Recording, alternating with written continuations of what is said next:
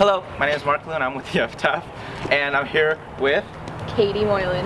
And uh, she's on the Equestriettes dance team, uh, and we're interviewing her.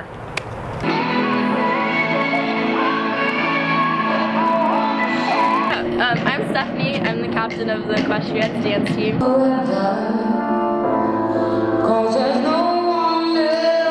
And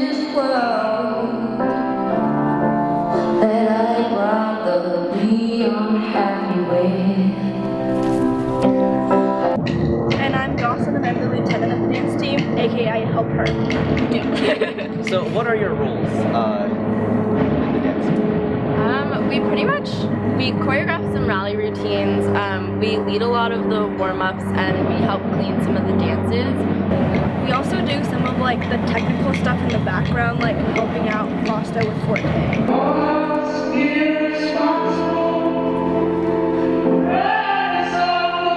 What does it mean to clean up a dance? Cleaning up a dance is like making sure every dancer is dancing together with each other and that no one looks strangely out from the rest of the team.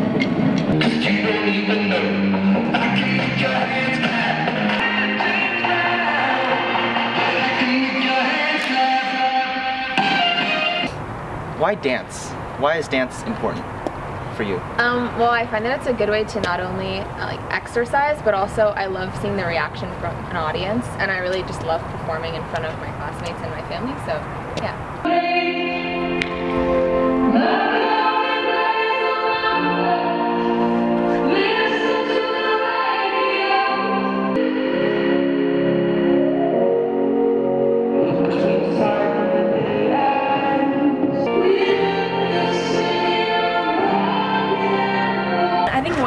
Most memorable memorable was when my freshman year at nationals we got into finals and when we heard that we got in the entire team was like so happy there was like nothing that could bring us down in that moment.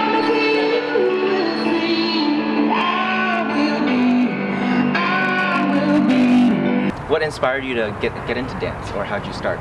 Um, when I was little, I'd say like about four years old, a lot of my friends started getting into it, and so I just joined, and I never looked back.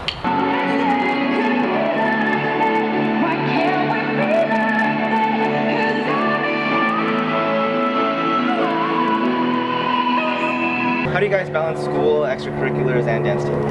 It's definitely a challenge at times. I think that for the most part, it's all been about kind of just being able to like be good at time management. So after school, I try not to procrastinate and go on like social media and stuff like that. Um, I try to eat dinner as fast as I can and just like power through my homework. And yeah, it's it's definitely hard at the beginning, I think, to kind of balance everything out. But once you figure it out, it's not too bad. And then part of it for me is also knowing like when my brain needs a break, so I'll take a short break when I get home to like eat dinner, relax a little, and then I find that I can focus on homework.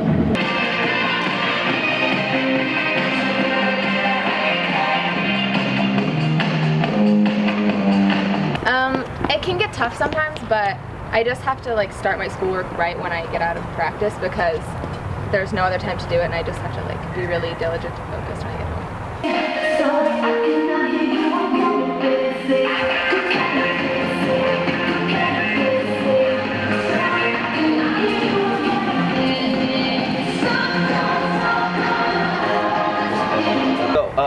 got you guys?